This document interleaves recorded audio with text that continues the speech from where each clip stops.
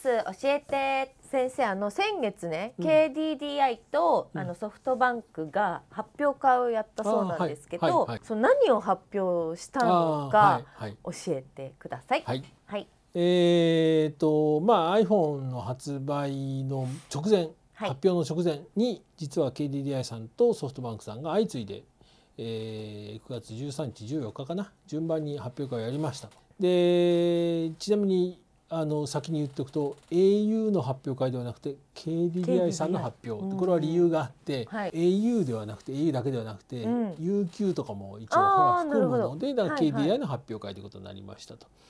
で、まあ、KDDI の発表会いろいろネタはあるんですが、はい。あの例えば前日とか前々日ぐらいにに新聞社が記事をね先行してすっぱ抜いてたあのスターリンクっていうあのえーっと初は車の人だからテスラはわかるかな？あわかりますテスラ。テスラの社長さん、イーロン・マスクさんっはいているじゃないですか、はい。あの人が今宇宙にこうロケットを上げるのうん。を最近、まああのアマゾンのあのジェフ・ベゾスさんもやってるけれどもやってるじゃないですか。あの実はスペース X っていう計画があって、まあうん。その衛星を上げてはいそこと通信ができるようにしましょうっていう、あの携帯電話ではなくて基地局の方なんですけど、それの提携をしましたみたいな話をちゃんと正式に今回はアナウンスをしてまだまあまあ実際にはもうもう23年かかるんですけど要するに山の方とかはい。山間部とかにその光回線引いていって、うん。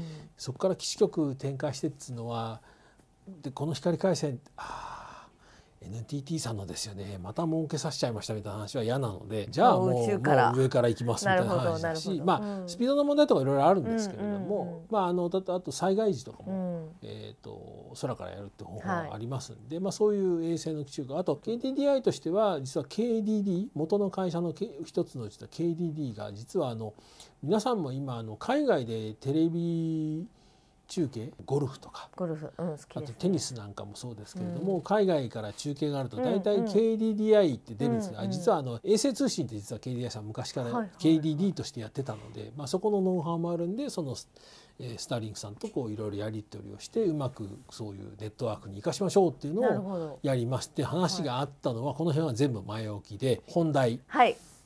本題。KDDI の今回の発表のなネタは何かというと、はい。ポボ。ポボ。はい、うんオンライン専用ブランドだみたいなこと言ってたんですけども、えー、ポボではい月額うん。0円のプランを始めます。え？ただ？ただなんですけど、ただ？はい、うん。なんですけど月額0円のベースプランで、はいここにはうん。通話やデータ通信っていうのは入ってません。ああえ？その代わり使いたければがトッピングあのポボはトッピングが一応ネタだったので、うんうんうんうん。トッピングしてくださいと。うん。ポボ2.0という名前になるそうなんですけど、うん。今回からね、うん。何が2.0みたいなじゃあ来年は3.0かっていう気も若干したんですが えーっとで何をやるかというと、はい。データ量も全部トッピングにするんでうん。1ギガが390円、うん。その代わり1週間有効。7日間だけ。例えばうん。発芽端末を持っていて、うん。普段メインで使っている以外にもう1台ポボを例えば持ちますと、うんうんうんでどうしてもこの1週間だけちょっとデータやり取りしなきゃいけない、通信しなきゃいけないんでちょっとピンチヒッターでみたいな感じの時にじゃあそれだけ何7日間分の390円トッピングで払いますっていう使い方を一する。週間使えるってことですか？そうです。それより上にも 3, 3ギガで30日間990円20ギガで30日間2700円60ギガで90日間6490円150ギガで180日間1万2980円24時間のみ使い放題の330円というのもありますと。例えば今日は今日は彼女がうちに来るんでううち、光回線ないけど、一緒にネットフリックス見るからうん。仲良くなるんで、その間はどうしてもネットフリックス流しときたいし BGM は Spotify にしたいんだって人はもうそれであやってねね。みたいな話なんだけど、それ330円で通信その24時間スタートから終わりまでは一応いけますって面話なんで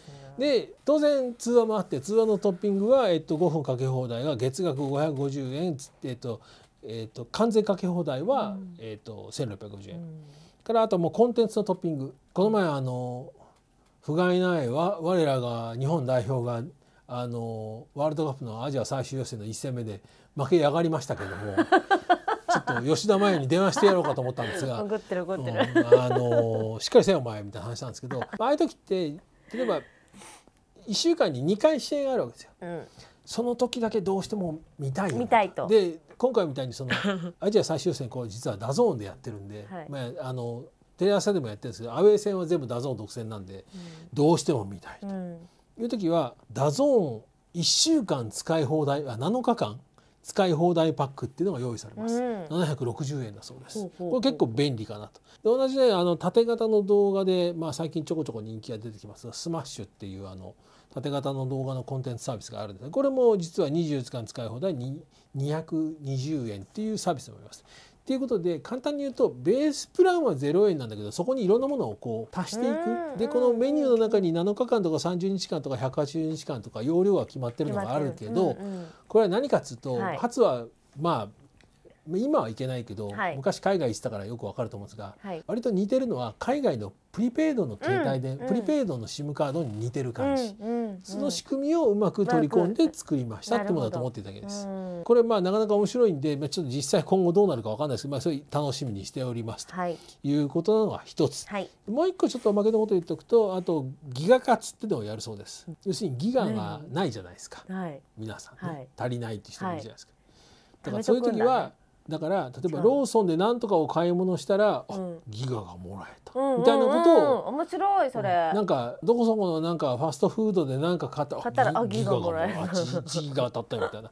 そういうギガ活っていうのをやるそうです。だからこれは経済的にはもうユーザーの方をそのいろんなお店に送客しましょうみたいな仕組みで,、でその代わりにまあギガでお客さんには還元しますみたいなことをやるそうで、うんこれもまあ始まりますんでちょっと詳細またご紹介しますけれどもこういうのも出ますという。でこれがまああのこの他にもいろいろちょっとネタはあったんだけどたくさんありすぎるんで、はいとりあえずこの2つは絶対覚えておいてください。はいで一方ソフトバンクはいソフトバンクのですねいろいろやってます。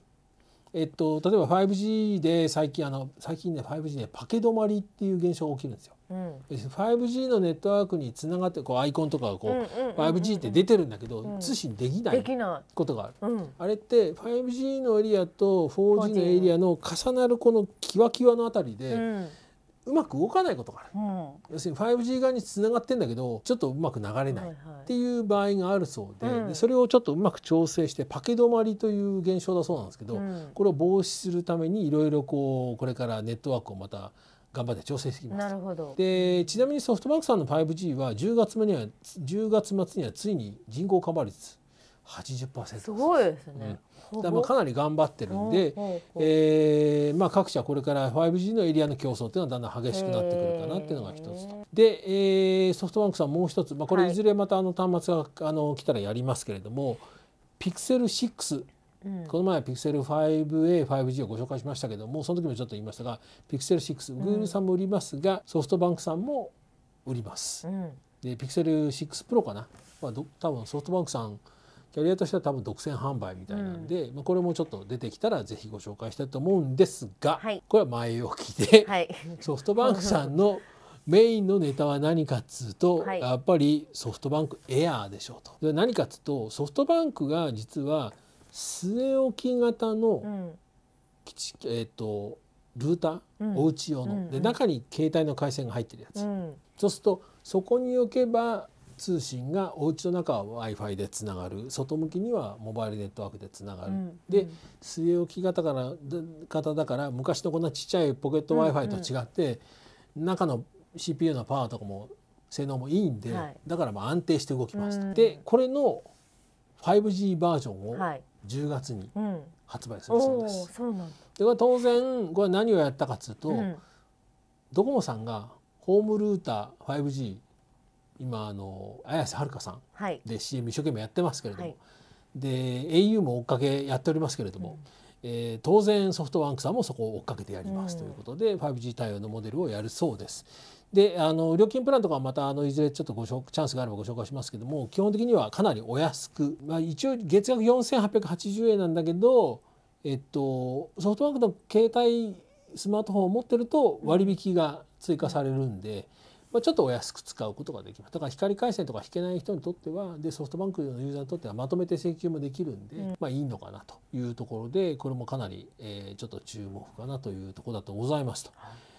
えーまあ、その他あともう一つソフトバンクはまああと PayPay かな昔あの去年おととしとかスーパーフライデーっていうのはあの、牛丼がタダでもらえるとかでだいぶ騒ぎになりましたけども、はい、あれの今度は、えっと、スーパー PayPay クーポンっていうのをやるそうなんでいろんなそういうファストフードとかお買い物とかが、まあ、半額近くになるようなうんうんうん。クーポンをもうバンバン発行しますと。うん。いうところだそうでございますんで、はい。こちらもちょっとあの PayPay ユーザーの方はぜぜひあのこのスーパー PayPay クーポンという名称をぜひちょっと覚えておいていただければ PayPay クーポン。はい。はい。まあ、両方とも、まあ、あのネットワークの話は一つ。で最近は特に 5G はどんどんエリアが広がってきてる。特に KDDI とソフトバンクは既存の 4G の周波数にも 5G の信号をうん。混ぜて送るうん。転用っていうのを始めてますんで、なあ 5G じゃんって思うことが増えてきます。えちなみにこのスタジオも、えーソフトバンクは確か 5G が一瞬つかむんでこのこのこのカーテンに近いところあたりだと割とつかむんで。